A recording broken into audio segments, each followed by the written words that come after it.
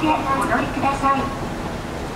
長靴や運動靴はエスカレーターの隙間に挟まれやすいのでエスカレーターにご注意ください。